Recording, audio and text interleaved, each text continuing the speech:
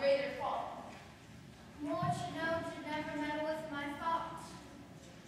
Tis time I should inform ye fall. Let not end.